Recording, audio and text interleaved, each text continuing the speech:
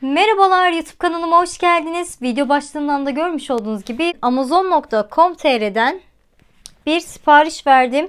Ben de denemek istedim nasıl bir sitedir diye. BKM hüsranından sonra Trendyol'dan da almış olduğum bir kitap vardı. Korsan çıkmıştı. Ben onu geri gönderdim ve para iadesini yaptılar falan derken ben e, tabii Amazon'dan hemen sipariş verdim o kitabı tekrardan.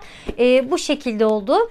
Biz siparişi verdik ayın 20'sinde gece yarısı falan vermişizdir. Muhtemelen ayın 21'inde de kargoya verildi dendi. Yani bir gün bile olmadan kargoya verildi ve kargoda birkaç gün boyunca kargoda gezdi gezdi o şekilde geldi. İki gün boyunca MNG kargo sürekli yoğunluk vardı şöyleydi böyleydi diye kargoya getirmedi. Bu tamamen bölgesel olarak bir şey herhalde. Amazon gerçekten dediği gibi hızlı bir şekilde kargonuzu gönderiyor. Ama tamamen e, nerede yaşadığınıza bağlı bir durum herhalde. Bizim burası da biraz sıkıntı bir yer. O yüzden bize çabuk bir şekilde gelmedi elimize ulaşmadı o kadar ama yine de 3 günü buldu yani 3 iş gününde kargom elimdeydi. Çok merkezi bir yerdeyseniz dedikleri gibi e, akşamında size kitabı bile getirebilirler. O kadar hızlılar bence. Şimdi Amazon Prime'a üye olduk biz öncelikle. Prime'ın bazı avantajları vardı. Kargoyu bedava yapıyordu. Hani kitap siparişlerinde kargo bedava oluyordu. Aynı zamanda da Prime'ın bir özelliği var. Film dizi izleyebiliyorsunuz. Hani Netflix gibi bir uygulama içerisinde var yani. O benim çok hoşuma gitti ve aylık 7 ya da 8 lira gibi bir civarında da para ödeyerek e, devam ettirebiliyorsunuz. İlk bir ay ücretsizmiş ve sonrasında da ücretini ödemeye devam edeceksiniz. Aynı bana Netflix gibi geldi yani Netflix'te o şekildeydi uygulama tarzı falan. İlk defa sipariş verdim ve çok fazla araştırmadım daha doğrusu. Şu an gördüğüm kadar söylüyorum. E, ve Bazen böyle indirimlere denk geliyordum ben. Bir ara Şeker Portakalı kitabını gördüm. 5 liraydı fiyatı. Yani inanılmaz uygun bir fiyattı. Keşke o gün böyle 2-3 tane alsaydım da sizlere de böyle hediye ederdim onları. Neyse o gün öyle atlattık ama bir sonraki günlerde belki denk gelir. Bu şekilde çok sevdiğim bir kitaba denk gelirsem sizlere de alırım böyle. Sizlere böyle hediyeler vermeye devam ederim diye düşünüyorum. Hadi o zaman kargomuzu açalım. Böyle ufak bir bilgilendirme yaptım. Yani elimden geldiğince çok fazla da e, detaylıca bilmiyorum her şeyi ama gördüklerimi söyledim. Şöyle kargomuzu hemen açıyoruz.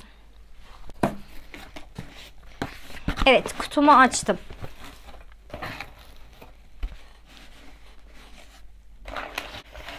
Şöyle güzelce ne koymuşlar. Kardeşiminkine böyle direkt şey yapmışlar. saçma bir şekilde koymuşlar ama benimkini hiç değilse koruyor yani. Bu şekilde üzerini kapatmışlar. İyi olmuş. Şöyle bir faturası da çıkıyor. Yani evet fatura var. Yalnız bize gelen ürünler biraz çizik çizik mi? Yani üzerine birazcık böyle çizik görmeye başladım ama neyse dur bakalım bir.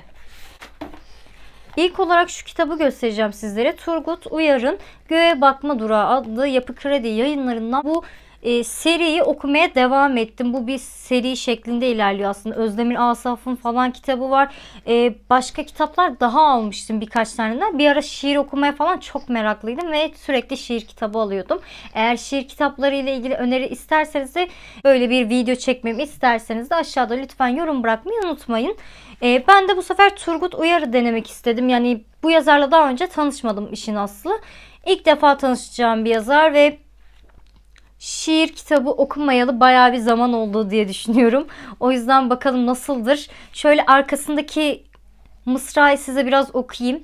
İkimiz birden sevinebiliriz. Göğe bakalım.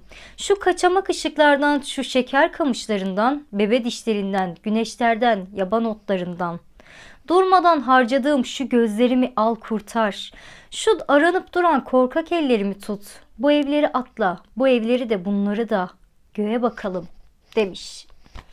Evet merak ediyorum. Merakla okuyacağım bir kitap. Zaten bu kitaplar 15 dakikada 20 dakikada okunabilecek kitaplardan bir tanesiydi. Bu şekilde ve şöyle iki tane defter aldım. Bakalım nasılmış. Yalnız bu biraz değişik geldi gözüme ama. İnşallah çok de ama çok kaliteli duruyor Fabox'un. 5-6 lira falan da ama şu kenarlarındaki ipler birazcık sıkıntı mı olmuş ne olmuş bir şeyler olmuş. Pek beğenmedim aslında şeyini.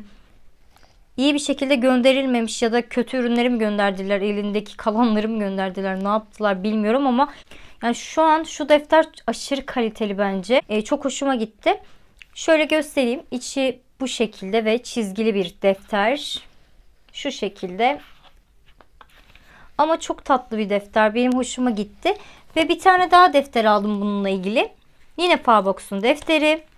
Bu da aynı şekilde böyle kalpli kalpli almışım.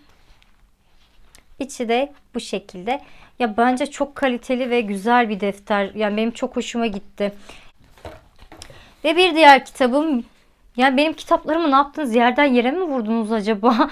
yani hepsi bir hasarlı gibi. Gerçekten Amazon olmadı bu. Yani şu an şuraya takmış durumdayım. Nasıl bir şey? Bükülmüş resmen burası. Niye? Niye böyle bir şey yaptınız? Ben kitap okurken bile bu şekilde bırakmıyorum o kitabı. Ayıp ya. Yalnız hepsi o şekilde. Yani nasıl koyduysalar bir şey olmuş herhalde orada. yazıklar olsun ya. Neyse Leonid e, Andreev Yahuda İskariot. Okuması bile zor. Evet bu kitabı aldım. Yani bu şekilde bir kitap aldım. Keşke daha hasarsız bir şekilde gönderebilseydiniz. Üzücü. Asıl almak istediğim kitap şu an elimde. Hayata Dön kitabı. Etiket fiyatı da 50 liraymış. Yok artık yani. Şu an çok satanlarda diye inanılmaz derece pahalı bir şekilde bizlere veriyorlar. Yani kitap okum kitap okumak bile zor bir hale geldi yani. Okumak istiyoruz ama izin vermiyorlar ya. 50 nedir? Yuh. 28. basımmış ve Gülseren Budayıcıoğlu'nun Hayata Dön kitabını aldım. Evet Orijinal kitap yani benim bunu hiçbir şekilde size orijinal mi değil mi falan diye söylememe gerek yok. En son attığım videolardan birisi e, Trendyol'dan korsan kitap gönderildiğine dair bir video yapmıştım. Şuraya bir linkini bırakırım. Bana gerçekten korsan kitap gönderdiler. Kitabı elime aldığım an dedim ki bu kitap korsan yani e, eminim yani korsan hiçbir şekilde elle tutulur bir yanı yoktu. Bir de aynı yayın evi aynı aynı yayın evi, aynı yazara ait kitaplar vardı elimde. Yani karşılaştırmasını yapıyorum. Her türlü kötü yani korsan yani belli yani sonuç olarak. Zaten bu kitap e, o kadar güzel duruyor ki hani başkalarının kitap kapaklarına falan bakıyordum. Benim kitapta gerçekten böyle bakılacak bir tarafı yoktu resmen. İşte bu kitabı okumayı çok merak ediyordum ve onların yüzünden okumamı ertelemek zorunda kaldım Trendyol'un yüzünden. Yani ne bileyim bünyesindeki insanlara birazcık dikkat etsin kardeşim. Niye yani etmiyorsun? Korsan kitap gönderiyorlar. Korsan kitap göndermek ne demek ya? Suç ya bu suç. Nasıl gönderebiliyorsun korsanı? Evet burada bu kitapta Alya'nın hikayesini anlatıyor. Yani Alya değil aslında Ayla. Şöyle anlatayım. Kırmızı Oda diye bir dizi var. O dizide de Gülseren Budayıcıoğlu'nun e, hayatını anlatıyorlar. Bir nevi seanslarını, e, o seanslarına gelen hastaları anlatıyor. Yani kitaplarından ilham alıyorlar. Ve o da aslında bir nevi tamamen böyle Gülseren Hanım'ın kitaplarına nazaran gidiyor. Ona gerçekten odaklanarak gidiyor. Neydi ya? Masumlar Apartman dizisi tam tersi. Yani iyice değiştirdiler konuyu. Olmayan karakterler, kitapta olmayan karakterler ve onların üzerinde ilerliyor. Hiç olmayan karakterler üzerinde. Tamamen güzelim o hikayeyi alıp başka bir yere götürmüşler ve berbat bir hale almışlar. En son yeni bölümlerin fragmanını gördüm. Çok kötüydü yani. Nerelere gitmiş olaylar ya. Ben anlamadım niye böyle yapıyorlar. Sırf izlensin reyting diye falan uğraşıyorlar ama neyse. Ama bu kitap e, Kırmızı Oda'nın şu an e, bizimle paylaştığı bir konuya sahip. E, şu an Kırmızı Oda dizisinde yer alan Ala yani oradaki adıyla Alya. Burada Alya'ymış. Orada Alya diye değiştirmişler. Onun hikayesini anlatıyordu. Bunu az çok biliyorum zaten. Dizinin belli bir kısmını izledik zaten. Az çok biliyoruz. Şuna bak ya. Vallahi yani orijinal kitabın sadece barkod olup olmadığından belli olmuyor diye bir şey yok arkadaşlar gerçekten ya. Kitaba baktığınız zaman diyorsunuz evet bu kitap orijinal ya. Orijinal bakın yani orijinal. Şuna baksanıza kalite. Kalite her şeyin önüne geçiyor ya kalite. Yazıklar olsun Trendyol ya. Gerçekten çok güzel duruyor. Normalde Gülseren Budayıcıoğlu'nun bazı kitapları seans seans ilerliyor. Yani sürekli başka bir hastanın konusu da işleniyor ama bu kitapta sadece Ala'ya yer verilmiş ve onun hikayesini dinliyoruz. Hani az çok şöyle bir şey anlatabilirim size. Hala bir gün psikiyatrist kliniğine geliyor. Hukuk fakültesi öğrencisiydi. Stajyerdi diye hatırlıyorum ve bu şekilde e, durumlardan bahsetmeye başlıyor. Daha önce sürekli bir psikiyatrist servislerine gitmiş. Yani orada kliniklere gitmiş ama e, hepsini denemiş ve sonunda demiş ki sizi de denemek istiyorum falan. Güvensizlik içerisinde geliyor. Ve ama çok zeki bir kız.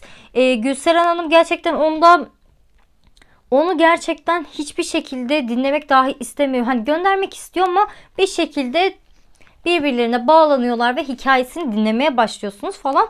E, çok acılar çekmiş yani bir evin içinde yok sayılmış, hiç kimse tarafından e, benimsenmemiş, bir ailesi, bir yuvası tam olarak olduğunu hissedememiş bir kız çocuğundan bahsediyoruz ve e, bir ölüme bile şahit olmuş.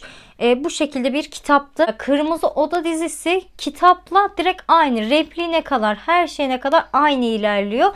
Hatta şu an dizide birazcık değişiklik olduğunu fark ettim. Çünkü Madalyon'un iç kitabını okumuştum ve yeni bölümdeki karakterimiz biraz daha değiştirmişler. Çok ufak bir şeyler değiştirmişler. Onu gördüm. Önceden hiç değiştirmiyorlar da yalnız ama olsun. Ve son alışverişim. Molaire'in Kibarlık Budalası adlı kitabı aldım. Daha önce ben Molaire'den Cimri kitabını okudum. Kitap resmen Yeşilçam filmlerinden birisi gibiydi Cimri kitabı. Hani bir anda babamı buldum aman tanrım falan gibi bir şey durumları oluyordu. Çok eğlenceliydi bence. E, o şekilde ben çok severek okumuştum. Bu sefer de bu kitabı aldım böyle Molaire'in yine Kibarlık Budalası kitabını aldım. Ee, sevebileceğimi düşünüyorum. Yine aynı şekilde tiyatro metni gibi. Oo burada ne anlatıyor? Klasik Fransız komedyasının kurucusu olarak kabul edilmesini sağlayan bir gelenek yaratmayı başardı. 5. Mehmet'in elçisi olarak Paris'e gelen ve görkemli bir törenle karşılanan Süleyman Ağa Fransız Sarayı'nın ihtişamını beklenen ilgiyi göstermeyince Kaçıncı Louis bu ilgisizliğin intikamını almak için Molaire'e oyun sipariş eder. Ortaya gülünç bir Türk balesiyle sonlanan eğlenceli bir hiciv çıkar. Ve yabancı yazarların Türklerle ilgili bir şeyler anlatıyor olması benim ilgimi çekiyor. Ve çoğunlukla denk geldiği e, ifadelerde hep Türkleri kötü bir şekilde anlatan kitaplar. E, çok nadir böyle iyi anlatan yerlere de denk geliyorum böyle kitap sayfalarına falan ama onlar da dediğim gibi çok nadir oluyor yani ama o da hoşuma gidiyor benim ya böyle Türk kısmını görünce okuduğum zaman benim hoşuma gidiyor nedense yani bilmiyorum. bu da bu şekildeymiş. Çok hoşuma gitti. Bilmiyorum bakarım okurum ben bunu ya hemen. Kibarlık budalası. Zaten hemen bitiyor bu kitaplar. Bir günde falan bitiyor yani. Evet benim kitaplarım bu şekildeydi. Gerçekten çok tatlı kitaplar aldığımı düşünüyorum ve defterler aldığımı düşünüyorum. Sürekli defter alıyorum. Çok defterim oldu. e, hepsini çok beğendim ama yani Amazon gerçekten hızlıydı. O konuda beğendim ama e, birazcık kirli göndermiş. Hem kirli hem böyle kenarları burkulmuş falan. E, iyi bir şekilde göndermedi bence. Ben tam anlamıyla böyle memnun kalmadım. Yani hızlı bir şekilde gönderecek de kitaplarımı da pis pis mi alayım yani? Öyle kenarları burkulmuş mu alayım Amazon? Bunu mu istiyorsun yani? İki besmele çekip de mi açaydım ne yapaydım hep bir şeyler oluyor başıma bir şey geliyor anlamadım. Videom bu kadardı. Beni dinlediğiniz izlediğiniz için çok teşekkür ediyorum. Eğer video içerik fikirleriniz varsa lütfen aşağıda belirtmeyi unutmayın. Ee, Hoşçakalın bir sonraki videolarda görüşmek üzere.